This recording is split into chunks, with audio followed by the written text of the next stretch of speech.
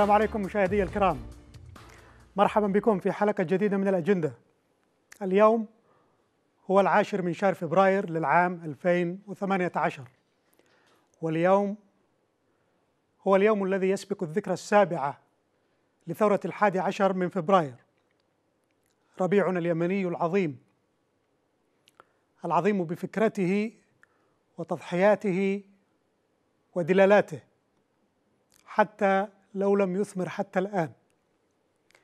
ولا يعيب الربيع أو ولا يعيب الربيع أن يعقبه الصيف والشتاء فتلك طبائع الأشياء. في كل ذكرى قادمة للثورة لثورة فبراير سنظل نذكر بها وبأمجادها وبأخواتها العربيات في ربيع العرب العظيم ولو كره الكافرون. الكافرون بالإنسان وحقوقه وتضحياته وحقائق الواقع والتاريخ. الكافرون بحرية الإنسان وكرامته وحقه في العيش الكريم. القانعون من العيش بما يجود به الحاكم المستبد الفاسد من فتات. وسنظل أيضا لعقود قادمة نطرح أسئلة الثورة ونجيب عنها. هل كانت الثورة ترفا أم ضرورة؟ هل هي مسؤولة عن الخراب والحروب الأهلية التي شهدها الشرق الأوسط بعد ذلك أم لا؟ لماذا حاولت الثورة المضادة إجهاضها؟ من المستفيد؟ وما مستقبل الربيع العربي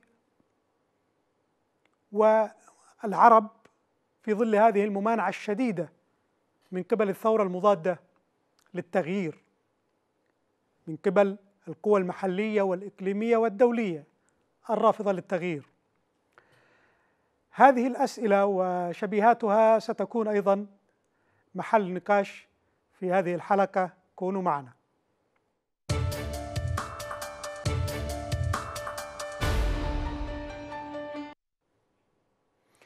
قالوا إنه مؤامرة غربية لتفكيك الدول العربية. وقالوا إنه مسؤول عن كل الخراب والقتل والتمزيق الذي لحق المجتمعات العربية اليوم. وقالوا إنه لم يكن ربيعا عربيا بل ربيعا عبريا. وسيظل خصوم الربيع العربي يقولون ويقولون ويجادلون وهم على جثة المنطق واقفون. ولن يغير ذلك من الأمر شيئا. لأننا نعرف السبب النفسي الذي يدفعهم إلى هذه المغالطة. إنه الشعور بالإثم الشعور بالإثم لوقوفهم بجانب الباطل. الشعور بالخزي لأنهم لم يثوروا لكرامتهم وحريتهم كما ثار إخوانهم. الشعور بالدونية لأنهم لم يقدموا أي تضحية في سبيل وطنهم. كما قدم غيرهم مع أنهم يقدمون أنفسهم في الصفوف الأولى من الوطنية وفي امتصاص خيرات الوطن. أما الأميون منهم والبسطاء فلا لوم عليهم إن كفروا بالثورة لأن الأعمى لا يستطيع أن يرى النور. هؤلاء البسطاء هم الذين عاتبوا موسى ذات يوم ولاموه. بعد أن حررهم من فرعون وقومه بحجة أن عملية التحرير هذه كلفتهم الكثير. قالوا لموسى في القرآن أوذينا من قبل أن تأتينا ومن بعد ما جئتنا. يعني بسببك. وقالوا في التوراة يخاطبونه هو وأخيه هارون ليتنا متنا بيد الرب في مصر.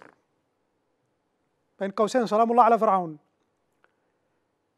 فهناك كنا نجلس عند قدور اللحم ونأكل من الطعام حتى نشبع. حتى نشبع. على رأي أصحابنا عاد كان نحصل رواتب أيام علي عبد الله صالح. فلماذا أخرجتمانا إلى هذه البرية؟ يخاطب موسى وهارون. لماذا أخرجتمانا إلى هذه أخرجتمانا إلى هذه البرية إلى هذه الصحراء لتميت هذا الجمع كله بالجوع؟ هكذا خاطبوه في التوراة. لماذا أخرجتم اليمنيين من حالة الاستقرار والنعيم إلى جحيم الثورة؟ هذا هو منطق العبيد في كل وقت. بنو إسرائيل كانوا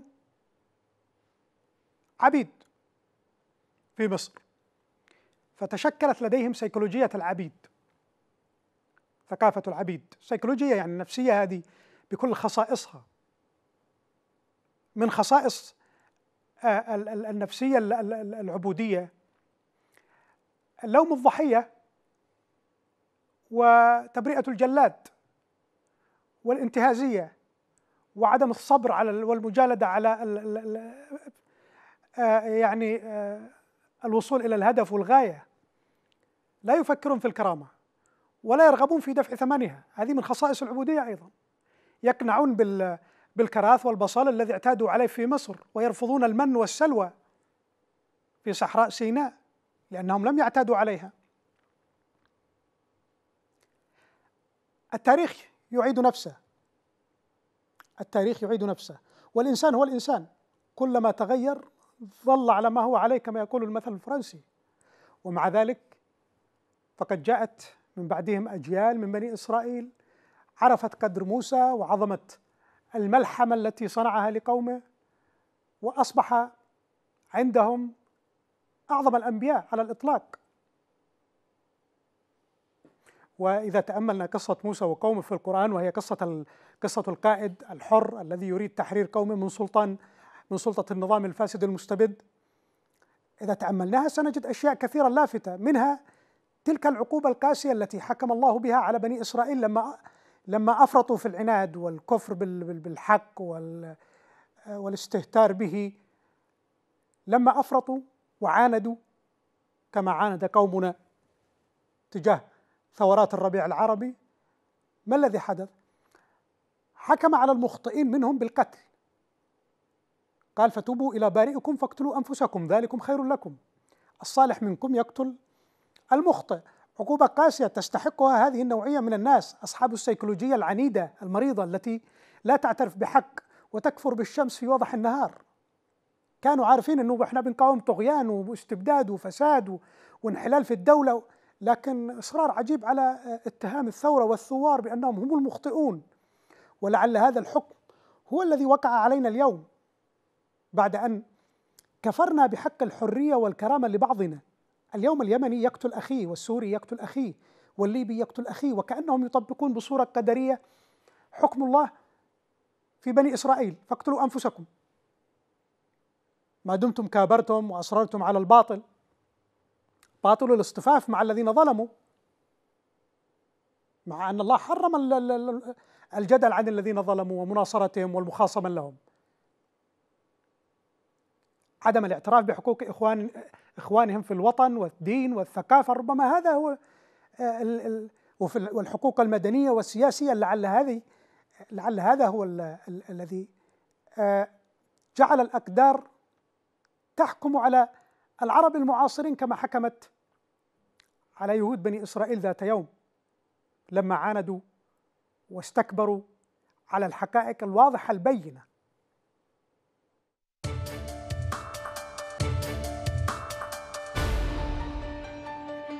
الربيع العربي لم يكن مؤامرة غربية كما يزعمون. بدليل بسيط هو أن الغرب لم يكن بحاجة إلى أن يتآمر على العرب. العرب يتآمرون على أنفسهم ما يحتاج أحد يتآمر معهم عليهم.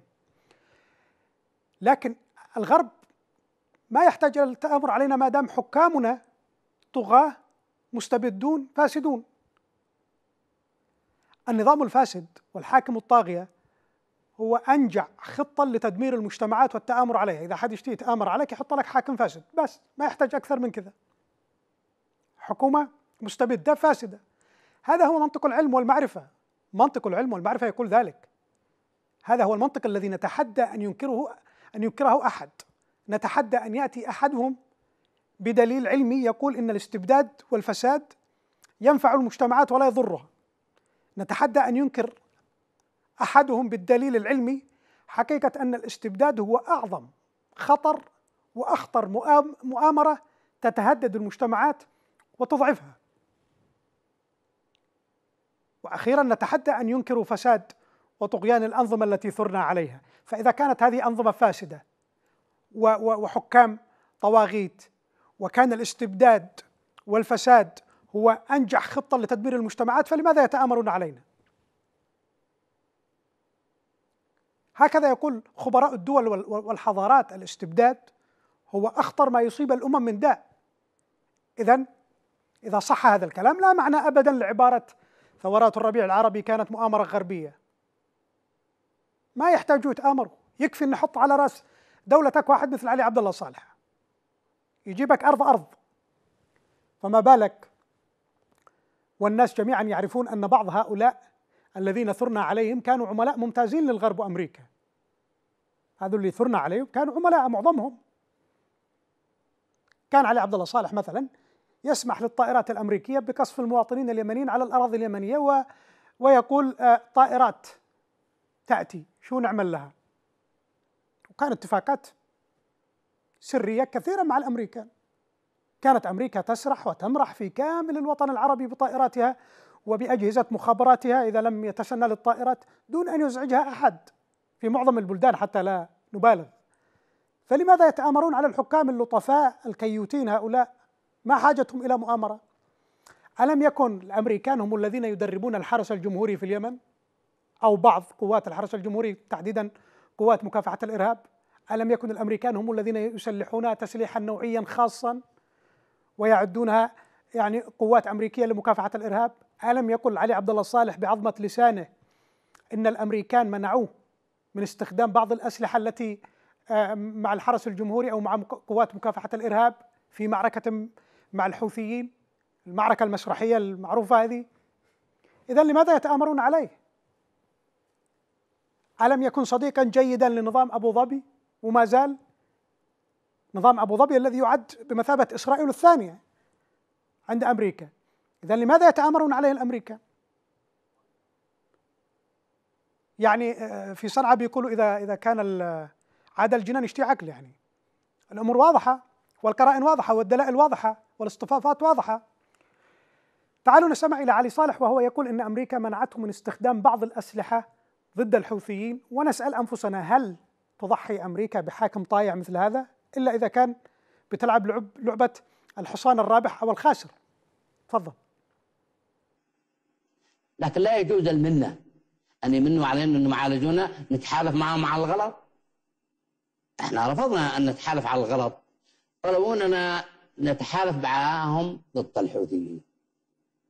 على الرغم من إنه حصل خلاف بيننا وبين الحوثيين لما تحدثنا مع الامريكان إنه إحنا بنتقاتل مع أنصار الله الحوثيين في صحراء. قالوا هذا رأي. هذا رأي يخصهم ما مش مشكلة.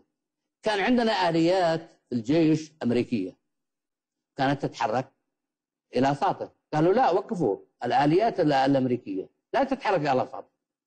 طيب واليوم أنتم تتحالفوا مع السعودية مع الوهابيين. وتضربوا الشعب اليمني ليش؟ أمريكا كانت ترى علي صالح حصانا رابحا في المنطقة. كانت تتعامل معه هكذا. وربما كانت تهيئا للقيام بدور في مشروع تفتيت المملكة العربية السعودية بمساعدة الإمارات. ويبدو أنه هذا هو الرابط المشترك بينه وبين الإمارات اللي جعله محبوب لديها. ولعل هذا هو سر إصرار النظام السعودي في, في الآونة الأخيرة على استبعاده من المشهد وإصرار الإمارات على إبقائه كأن السعوديين أدركوا دور علي عبد الله صالح لكن قد يسأل البعض إذا كانت أمريكا يعني ترى صالح حصانا رابحا كما تقول فلماذا تخلت عنه في الأخير؟ والجواب ببساطة أنه أمريكا تريد حصانا حقيقيا قويا قادرا على حمل الرسالة إذا صح التعبير. أما الحصان الضعيف العبء فتتركه لمصيره. عادة أصحاب الخيول يقولون إذا انكسر الحصان إذا انكسرت رجل الحصان يطلقوا عليه النار لأنه أصبح عبء. أمريكا أعطت علي صالح فرصة واثنتين وثلاث للتخلص من ثورة فبراير وثوار فبراير لكنه فشل. شفنا كيف فشل في الحصبة وكيف فشل في عمران وكيف فشل في غيرها. فشل. لما أدرك الأمريكان أن علي صالح رهان خاسر وعبء ثقيل قرروا ترك المصيرة وبدأوا في البحث عن حصان بديل ينفذ نفس الأجندة القديمة يساعد على تحقيق أجندتهم. وأجندة أمريكا في المنطقة ببساطة هي مكافحة الإسلام العنيف وصناعة شرق أوسط جديد تحكمه إسرائيل. وهذا لابد أن يمر عبر تقسيم المملكة العربية السعودية لأسباب. فمن هو الحصان الرابح البديل لعلي عبد الله الصالح؟ آه، من هو الحصان الذي اكتشفه الأمريكان بديل لعلي عبد الله الصالح في تحقيق الأجندة الأمريكية؟ ليس هناك في الساحة اليمنية من هو أفضل من الحوثي. الحوثي هذه الحركة المسلحة المقاتلة التي ترفع شعار الموت لأمريكا ذرا للرماد على العيون طبعا هي الحصان الرابح لأمريكا البديل فيما بعد. في حين أن الأمريكان هم الذين سمحوا لها بالتفشي يعني هم يرفعون شعار الموت لأمريكا وأمريكا هي اللي سمحت لهم بالتفشي. كلمة التفشي هنا يعني في محلها لأنه لا ينتشر بهذه السرعة إلا الوباء. عندما كان الحوثيون يصرخون بالموت لأمريكا كان الأمريكان يفاوضون على إشراك الحوثي في مؤتمر الحوار الوطني وبنسبة مقاعد تساوي بعض الأحزاب السياسيه مع أنهم جماعة مسلحة يعني وليسوا حزبا سياسيا وكان الأولى أن لا يدخلوا حتى يضعوا السلاح. لكن الأمريكان والبريطانيين اقحموهم في الوقت الذي كانوا فيه يصرخون بالموت لأمريكا كانت أمريكا تسهل لهم دخول عمران وصنعاء. وتعمل بالمثل اليمني القائل سبحان من خلق الدعممه سفارة موجودة في صنعاء والناس مراقبين الوضع وتاركين الحوثي يتصرف براحته حتى ما قفلوش السفارات. ولا كأنه يعني كأنه عرس يعني كان كأنه موكب عروس داخل صنعاء. وفي الوقت الذي ما زال فيه الحوثيون يصرخون بالموت لأمريكا ما زالت أمريكا حتى اليوم تمنع التضييق عليهم تماما وتحاورهم في في الغرف المغلقة. يمنعوا التحالف من بعض الممارسات اللي ممكن تضيق عليهم وتقصيهم تماما. مع أنه المفروض الأمريكان يحاربون الجماعات الإسلامية المسلحة المفروض يعني والحوثيون جماعة إسلامية مسلحة. بس الأمريكان فاهمين إني لا إسلامية ولا ولا غيره. الأمريكان يعرفون أنه مجرد شعار للاستهلاك المحلي كما قال الحوثي محمد عبد السلام ذات يوم. اذا مقولة إن الثورات العربية كانت مؤامرة أمريكية هو كلام لا يقف على قدمين. ولا يصدر عن مثقفين حقيقيين أو شخصيات تحترم نفسها.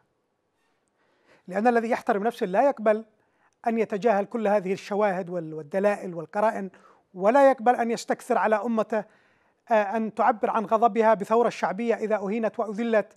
يعني هذا يقول لك هذه مش ثورة ولا ولا ولا كان ينبغي أن تقوم ثورة. يعني وكأنه يفترض أن أمته هذه مجرد قطيع لا يثور لحريته وكرامته إذا انتهكت. الشخص المحترم لا يتلاعب بالحقائق ويتجاهل تضحيات الناس من ابناء من أبناء أمته. ما احناش يعني قصر حتى نعجز عن إقامة ثوره الشعوب المحترمة إذا جرحت إذا أهينت إذا ضيق عليها تعبر عن عن رفضها وعن غضبها. إحنا شعوب نعيش في الوطن العربي في مستوى أدنى من مستوى عيشة الكلاب في في بعض الدول. ومع ذلك يعني يستكثرون علينا أن نخرج في ثورة. يقول لك ليش تخرج في ثورة؟ خلي الأمور تجري كما هي. يعني هذا منطق بعض المثقفين أحيانا المحسوبين على المثقفين وبعض النخب السياسية. هذه يعني هذه واحدة من مظاهر وكستنا الكبرى للأسف.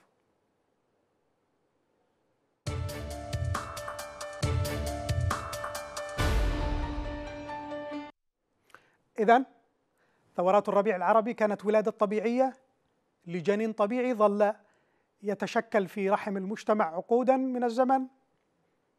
الفساد المالي والإداري وهدر الثورات ثروات عفوا آه، فساد التعليم مشروع التوريث آه، تدهور الأمن والخدمات الضرورية احتقان الجنوب ملف الجنوب بسبب الظلم والفساد الذي مارسه النظام وملأه الأعلى.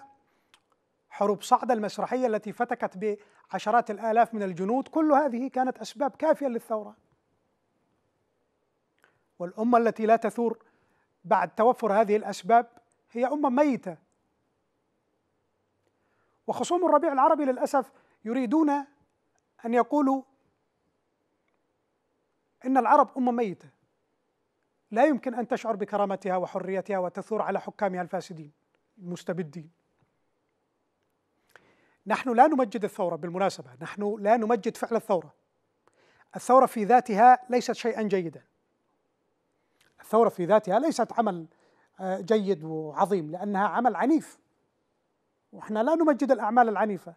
عمل عنيف قد يتسبب في الفوضى والخراب وسفك الدماء لبعض الوقت وذهاب الاستقرار والتنمية.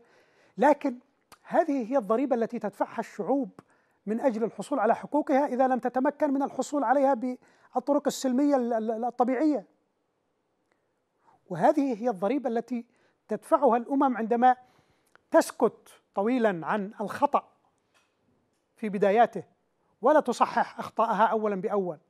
لو أن اليمنيين أو المصريين منعوا علي عبد الله صالح ومنعوا غيرهم من الإفساد في بداية أمره لما احتاجوا إلى ثورة بعد ثلاثة عقود من حكمه علي صالح. بعد أن تمكن واستغنى وأصبح فساده مؤسسة حصينة. الثورة هي مثل العملية الجراحية التي قد نضطر فيها إلى بتر عضو من أعضاء الجسم إذا كان إذا كان المرض يهدد الجسم بالكامل. يعني لو أن المريض عمل بمبدأ الوقاية وما سمحش للاستبداد يوصل للكرسي الحكم لو عمل بمبدأ الوقاية لما وقع في المرض. ولو أن عالج نفسه عند بداية ظهور المرض لما احتاج إلى بتر. فلماذا نلوم الطبيب أو المريض إذا قرر يعني إجراء عملية جراحية؟ نسميها الثورة. إجراء عملية جراحية. ونقول لا إحنا نرفض العمليات الجراحية لأنها مؤلمة ولأنها تسفك الدماء وتبتر الأعضاء. طب ما هذه طبيعة العمليات الجراحية. لو تركنا هكذا بدون تركنا المجتمع هكذا كان المرض سيفتك بالمجتمع بالكامل في نهاية المطاف أشد مما نحن فيه. أعزائي المشاهدين سنذهب لفاصل قصير ثم نعود لاستكمال حديثنا. ابقوا معنا.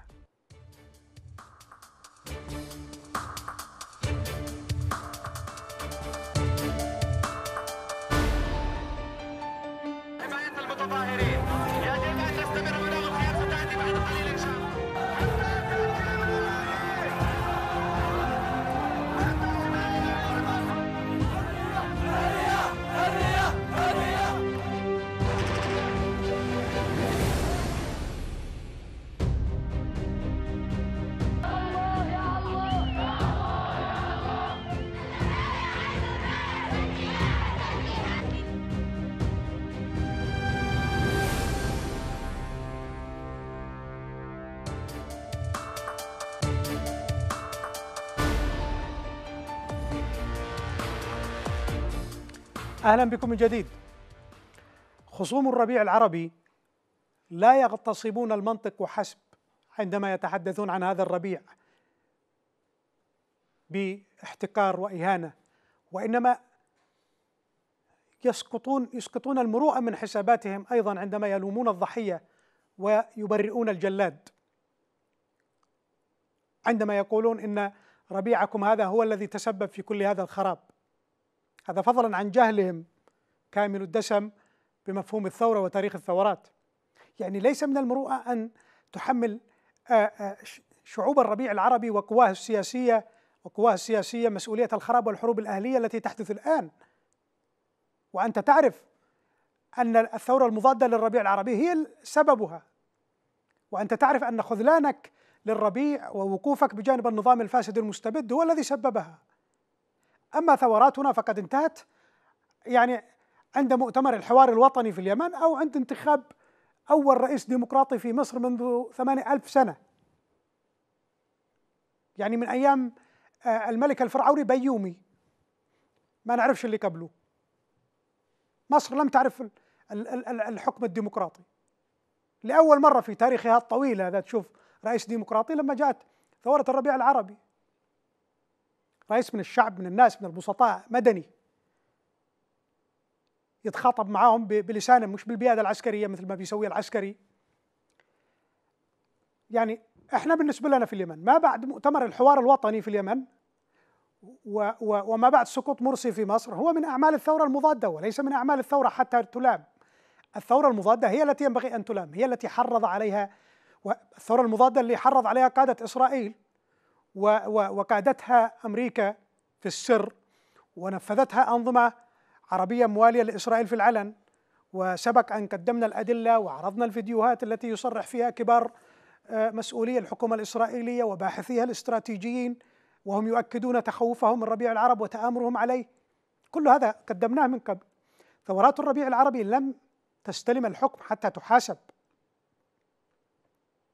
إحنا بنقول هذا الكلام وحنذكر فيه في كل عام لأنه ما زال ما زالت النغمة قائمة ما زال الاتهام قائم. وإحنا آه، آه، يعني آه، لابد أن ندفع التهمة عن أعظم ملحمة قدمها الإنسان العربي في تاريخه الحديث كما سندلل بعد قليل. يعني ومع ذلك فإن الفترات الانتقالية التي جاءت عقب الثورة كانت أفضل حالا من فترات الأنظمة الساقطة. وما عندناش الوقت الآن لبيان هذه النقطة لكن بإمكانك أنت في اليمن أن تسأل أو بإمكانك إذا كنت مصري أن تسأل أي مصري مثلا ما أفضل فترة شعرت فيها بحريتك وكرامتك وانفتحت فيها أبواب الأمل أمامك؟ أبواب الأمل والنجاح. الشباب المصري لو سألتم يقولوا لك فترة محمد مرسي. الرئيس المنتخب ديمقراطيا. يكفي فقط أن آه، آه، تراقب خريطة البرامج التلفزيونية وتشوف كيف كانت أيام مرسي وكيف أصبحت الآن. فين كانت الحرية وكم وكيف الشباب كانوا حاضرين فيها والآمال مفتوحة والنجاحات والخطط والآفاق كلها مفتوحة.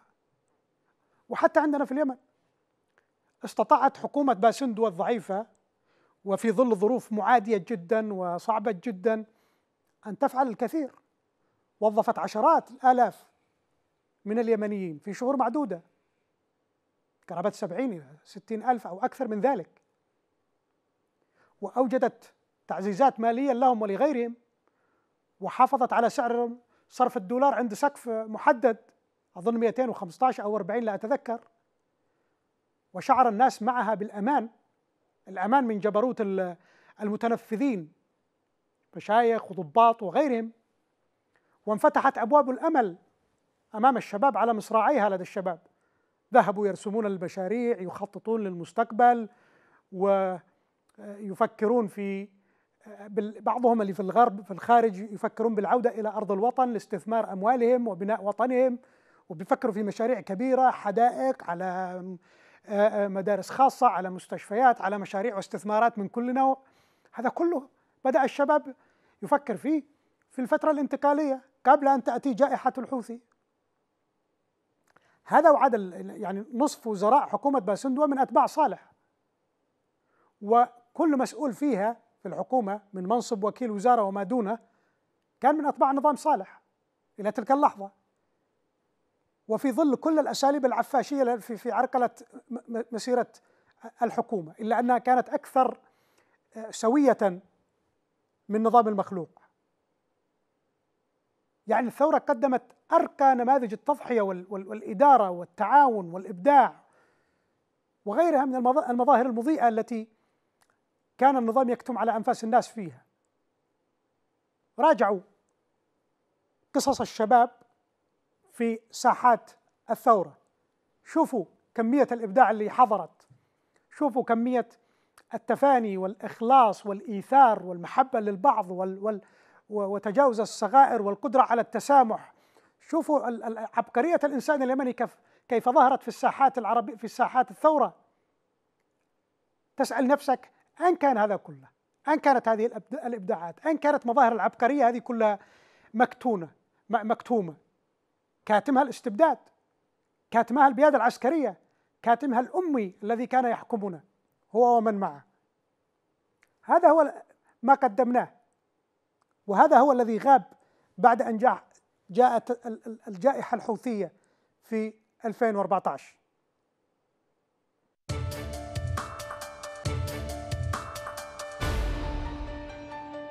لأن خصوم الربيع العربي يتحدثون بقلوبهم لا بعقولهم بتحيزاتهم بأحقادهم لا بعقولهم ومنطقهم. لأنهم كذلك فإنهم آه، يقعون في الكثير من التناقضات. تراهم مثلا يطبقون مبدأ السببية في مقام ويتجاهلونه في مقام آخر. يقولون يقولون لك مثلا آه، ثوراتكم هذه سببت الخراب والحروب ولم تأتي للناس بخير. وينسى أن مبدأ السببية ينسى أن مبدأ السببية يحتم عليه أن يرجع قليلا إلى الوراء ويتساءل وما سبب الثورة نفسها؟ إذا كانت الثورة السبب لما بعدها طيب ما سبب الثورة نفسها؟ لا يعني مبدأ السببية عندهم يعمل فقط من عند الثورة ومطلع. قانون السببية عندهم يبدأ العمل من الثورة فقط. وإذا اضطروا أحيانا لذكر أسباب الثورة يقول لك إنها مؤامرة أمريكية. ويظنون أنهم بهذا قد أراحوا ضمائرهم.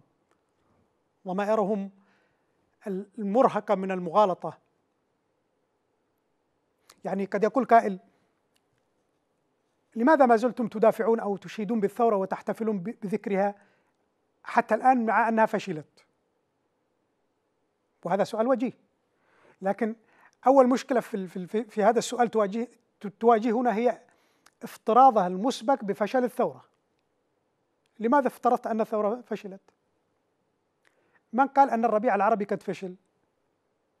صحيح الربيع العربي تعثر الربيع العربي لم يحقق كامل أهدافه ولم يأتي حتى الآن بالدولة المدنية التي بشر بها إلا أن الحكم بفشل الثورة سابق لأوانه سابق لأوانه لماذا؟ لأنه أولا تاريخ الثورات في العالم تحديدا الثورات الأوروبية يخبرنا بأن الثورة قد لا تؤتي ثمارها إلا بعد عقود. كل ثورات أوروبا في القرن التاسع عشر الميلادي فشلت كما يقول المؤرخ البريطاني إريك آه، هوبز باوم في كتابه عصر الثورة. يقول كل الثورات التي نشأت في أوروبا في القرن التاسع عشر فشلت ولم تؤتي أكلها إلا بعد ثلاثة عقود تقريبا. أما الثورة الفرنسية فهي حكاية لوحدها يعني. هذه الثورة لم تستقر إلا بعد قرابة خمسين عام. ظلت هي والملكية والإمبراطورية في حالة آه، ذهاب وإياب. ثورة وثورة مضادة. جمهورية تعقبها ملكية ثم جمهورية ثم إلى آخره. لم تستقر إلا في الجمهورية الثالثة تقريبا. وبالمناسبة مصطلح الربيع العربي هذا اللي إحنا بنستخدمه الآن استعير من آه، هذه الثورات. كان يطلق على ثورات القرن التاسع عشر في أوروبا ربيع الشعوب الأوروبية. ربيع الشعوب الأوروبية. هذا كله رد على من يقول بأن ثورات الربيع العربي قد فشلت. وهو طبعا اللي بيقول هذا الكلام لا يرى التحولات العميقة في البنية العميقة من المجتمع والثقافة التي تحدث الآن. تحولات عميقة تحدث الآن على المستويات النفسية والثقافية والاجتماعية والتي تعد في حد ذاتها شكلا من أشكال الثورة. هي تحولات قاسية لكنها آه، ستثمر فيما بعد. عندما تبلغ ذروتها سيكون كل ما نعرفه الآن قد تغير. يعني العجلة تحركت على كافة المستويات ولن تتوقف إلا في نهاية المسار. يعني بعد يعني تقريبا بعد عقد من الآن أو أكثر قليلا سنكتشف أن ثقافتنا قد تغيرت كثيرا. ثقافتنا العربية اللي فيها عناصر كثيرة سلبية وأن يعني وأننا صرنا أكثر بصيرة بما حولنا وأقدر على صناعة المستقبل وفقا للشروط الموضوعية لا وفقا للشروط المثالية الرومانسية التي كنا نتبناها من قبل. وأسقطتها الأحداث. العرب اليوم صاروا يعرفون أعدائهم الحقيقيين أفضل من ذي قبل. أعداء النهوض والتغيير والحرية والكرامة صاروا يعرفون أدواتهم ومخططاتهم ويعرفون نقاط ضعف ضعفهم ونقاط قوتهم. يعني العرب أنفسهم. باختصار العرب اليوم صاروا أكثر تأهيلا بعد ثورات الربيع العربي لدخول المستقبل. هذه التحولات لا غير منظورة. الناس العاديين أو أو حتى المثقفين يعني لا يستطيعون تأملها.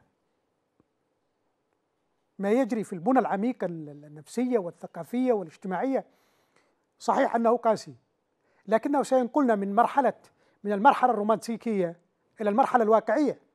ولا مشكلة إذا تعثرنا بالحوثي اليوم أو تعثرنا بالسيسي. الذي يتعثر سينهض وسيواصل السير. وحجر العثرة هؤلاء حجار العثرة سيزولون إلى الأبد. لكن لماذا يحكم البعض على الربيع بالفشل؟ لماذا؟ طبعا لأنهم يعتقدون أن الثورة خط تصاعدي لا تعرج فيه. هم كانوا هكذا يعتقدون أن الثورة عبارة عن صاروخ ينطلق من أدنى إلى أعلى لازم يستمر في الثبات إلى الأعلى. ما يمكنش ينحني ويسقط. وهذا طبعا مجرد وهم. الثورات كما دل التاريخ تمشي في خط متعرج يعني مثل الراقصة إذا كانت بتمشي. الثورات آه، ترتفع تسقط حينا ثم تعود وهكذا. وإحنا إحنا اليمنيين ما زلنا في ثورة من عام 62 لليوم. إحنا مثل الثورة الفرنسية. صراع مع الملكية استمر عشر سنوات في البداية أو سبع سنوات وبعدين ظلت الملكية تتوغل هنا وهناك وتتسرب إلى آه، آه، الحمض النووي إلى الخلايا الاجتماعية والثقافية وخلايا الدولة. واليوم إحنا في صراع جديد معها بشكل رسمي وواضح. يعني الثورة اليمنية نفسها ما زالت في حالة استمرارية الثورة القديمة الثورة الأم. فمن الطبيعي ومن ال ال ال من العجلة أن نقول أن الربيع اليمن قد فشل.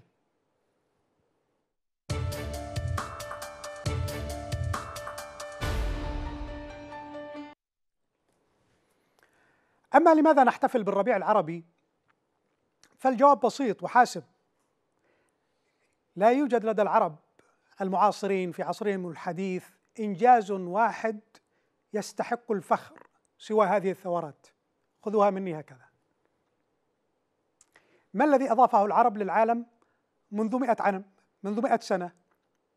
يعني منذ أن خرجوا من عصر الظلمات إلى العصر الحديث ما الذي قدموه للعالم؟ بماذا اسهموا في مجالات العلم والمعرفة والتمدن والحقوق والحريات؟ هل قدموا شيء للعالم سوى النفط والتطرف؟ تقريبا لا شيء. لقد كانت شعوب العالم تنظر إلى الوطن العربي خلال القرن الماضي هذا باعتباره دار للعجزة. الوطن العربي دار العجزة. كان هكذا الناس ينظرون إلينا. حتى جاء الربيع العربي وأذهل العالم بقدرة الشباب العربي على صناعة ثورات.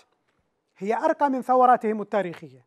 أرقى من الثورات الأوروبية نفسها. نعم الربيع العربي وأنا مسؤول عن هذا الكلام أرقى من كل ثورات أوروبا في القرون الماضية. سواء من حيث حجم المشاركة الشعبية أو من حيث الظروف المعقدة التي آه، واجهت الثورة أو من حيث الكلفة التي دفعتها دفعها الثوار أو من حيث الطريقة التي سلكها الثوار في التعبير عن أنفسهم. كل هذا كانت الثورات العربية أرقى من ثورات أوروبا. من حيث حجم المشاركة الشعبية كان الثوار الأوروبيون في الثورات الكبرى لا تزيد نسبة المشاركة عن 1% من عدد السكان. ولم يكسر هذه القاعدة فيما بعد سوى الثورة الإيرانية التي بلغ عدد المشاركين فيها قرابة يعني 7% من عدد السكان الإيرانيين. أما ثورة اليمن وثورة مصر وغيرها فقد تجاوزت السبعة في المئة قليلا. مع أن معظم السكان في هذه البلاد من الأميين وأشباه الأميين ومع ذلك كانت نسبة المشاركة عالية جدا. هذه لها دلالتها. من حيث الظروف المعقدة التي أحاطت بالثورة تبدو ظروف الربيع العربي أكثر تعقيدا وممانعة للثورة من ظروف الثورات الأوروبية. يعني على الأقل لم يكن هناك أمريكا وروسيا تتآمران على ثورات الربيع الأوروبي. يعني لم يكن هناك أيضا نفط يمول الثورة المضادة حتى تنجح. أما من حيث الكلفة فإن عدد الضحايا وحجم الدمار في الأملاك العامة والخاصة لثورات الربيع العربي لا يكاد يذكر لا يكاد لا يكاد يذكر بجوار ما نعرفه عن الثورات الأوروبية. طبعا باستثناء الذي يحدث في سوريا بسبب ضخامة المؤامرة والتعقيدات التي على الشعب السوري. وأخيرا فإن طريقة العرب في احتجاجاتهم السلمية كانت دليل واضح على أننا شعوب متمدنة لو تركت لنا الفرصة. كان مظهر آخر من مظاهر الرقي والقصص المدنية في الثورات العربية لا حصر لها. القصص اللي تدل على التوجه المدني والنزعة المدنية لدى العرب يعني أقلها مظاهرات لم تكسر فيها شجرة ولم تحرق فيها مؤسسة بل كان الثوار أنفسهم يقومون أحيانا بحماية المؤسسات العامة حتى لا تتعرض للنهب أو السرقة إذا تركتها الشرطة. أين هذا مما فعله لعاقبا مثلا في الثورة الفرنسية؟ مجازر قتلت القريب والبعيد. وأين هذا مما فعله البلاشفة في الثورة الروسية؟ وأي شيء يمكن أن يفخر به العربي إذا لم يكن هذه الملحمة التي صنعها آه، العرب المعاصرون. بعد أن كان العالم يعتقد اننا انهم مجرد بهائم لا تشعر بحريتها إذا صودرت ولا بكرامتها إذا انتهكت. الثورات العربية ليست الثورات في ذاتها ليست جيدة في ذاتها. نعم الثورات في ذاتها كما قلنا من قبل ليست جيدة. لكنها عظيمة بدلالاتها. حتى لو لم تحقق أهدافها. يعني مش شرط الثورة العظيمة أن تحقق أهدافها. الثورة العظيمة لها دلالات. مشاركة الشعب نفسه. وإذا كان البعض يجهل هذه المعاني فالجهل ليس حجة على أحد. وأمريكا مع إسرائيل مع أنظمة الفساد والاستبداد لم يتآمروا على هذا الربيع إلا لأنه كان عظيما ومخيفا من منظورهم. لو لم يكن هذا الربيع عظيما ما تآمروا عليه. أظن الأمور واضحة.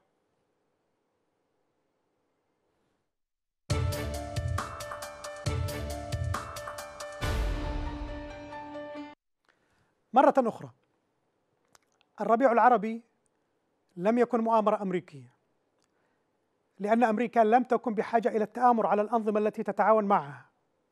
وليس هناك معنى لأن تختار أمريكا تونس مثلا لإطلاق شرارة الثورة العربية. يعني أمريكا عايزة تتآمر على الأنظمة العربية. تبدأ من تونس. ليش؟ كل ما في الأمر أن لدى الأمريكان وإسرائيل مخططات جاهزة للتعامل مع أي مستجدات في المنطقة. أي سيناريوهات عندها مخططات جاهزة موجودة في الأدراج. لما قامت ثورات الربيع العربي ووجدوا المنطقة في حالة ولادة أخرجوا مخططاتهم من الأدراج وذهبوا يعملون على توجيه هذه الثورات وإسقاطها وتوجيهها إلى حرب أهلية. ووجدوا فرصة سانحة لتنفيذ مخططهم القديم في إعادة صياغة الشرق الأوسط بما يخدم إسرائيل ويهدم البيت العربي. والثورة اليمنية لم تفشل. لم تفشل كما يقول البعض لأنها آه، قبلت بانضمام بعض قادة النظام ورجاله إليها. هذه واحدة من الشبهات. نقول هي لم تفشل لأنها استعانت بهؤلاء أو انضم إليها هؤلاء لأنه كل الثورات تفعل ذلك. بما فيها ثورة 26 سبتمبر نفسها. السلال هذا إيش كان؟ عبد الله السلال قائد ثورة 26 سبتمبر كان قائدا للحرس الملكي قبلها بأيام. كان قائد الحرس الإمام. والثورة لا تستطيع أن تهدم النظام إلا بإحداث شرخ في جدار النظام. وهذا ما حدث في ثورة فبراير. أنت كيف تهزم نظام؟ كيف تسقط نظام إذا لم تحدث فيه الشرخ وجعلت جزء منه ينضم إليك ويتعاطف معك؟ ثورة فبراير شرخت هذا النظام وجعلته آيلا للسقوط. ولم يكن في مقدورها أن تواجه يعني كل التحديات المحلية والإقليمية والدولية بمفردها. لكن هي كانت بمثابة ضربة فولاذية هزت جدران النظام السياسي والقواه الاجتماعية وتركت تركت هذه البنى تتداعى تداعيا حرا كما يقولون. وما زال هذا التداعي جاري إلى الآن بفضل الثورة المضادة. أخيرا هل كان لدى خصوم الربيع العربي حل بديل عن الثورة والإصلاح؟ يعني حل بديل عن الثورة لإصلاح الأمور؟ طبعا ما فيش. هم يعرفون ذلك ونحن نعرف ذلك لا يوجد. لا يعقل أن يكون البديل مثلا هو الصبر على النظام يقولون اصبروا على النظام حتى يستيقظ ضميره. أو حتى يستكمل بناء حصونه ويصبح من العسير علينا إزاحته. كان علي عبد الله صالح يعمل ليل نهار على بناء مشروعه الخاص تحصين هذا المشروع وإزاحة القوى التي تهدده سواء كانت قوى عسكرية أو اجتماعية أو حزبية. كل ذلك واليمن يهوي بثبات إلى الأسفل. لو نقول في نصبر على شيء بيتقدم بيتحسن ببطء ما عندناش مشكلة لكن نصبر على نظام. اليمن تسقط في في في في عهده بشكل ثابت. هذا خطير. كنا سنفيق بعد عقد من الزمان وقد أصبحنا في القاع. عقد عقدين. وقد أصبحنا أشبه بدولة أفريقية فاشلة. لا تعليم لا صحة لا اقتصاد لا كرامة لا حرية لا أمن. وحينها لم لم نكن لنستطيع أن نفعل شيء لا ثورة ولا غيره لأنه كان أصبح محصن تماما. كان سيصبح محصن تماما. لم يعد كان لدينا جيش وطني ممكن نقاوم أو ينضم إلى الثورة حتى نواجه به ولم يكن كان سيصفي كل القوى الاجتماعية وكل القوى السياسية وحللي بقى. حينها سيتركه الأمريكان سيتركه العالم يصنع فينا ما يشاء. كما فعل مع كما ترك بشار يفعل بالسوريين وكما ترك السيسي يفعل بالمصريين في رابعة وغيرها. وكما ترك الحوثي يفعل فينا اليوم. ليش الحوثي ببرطع لأنه خلاص ما عاد فيش قوة امامه توقفه وتوقف زحفة. هذه هذا المصير كان سيكون هو المصير الطبيعي بعد مجيء علي عبد الله الصالح. بعد استكمال علي عبد الله الصالح المشروع إذا لم تقم الثورة في تلك اللحظة. أظن أن الحلقة قد انتهت عند هذا الحد. أرجو أن نلقاكم في الأسبوع القادم في أمان الله.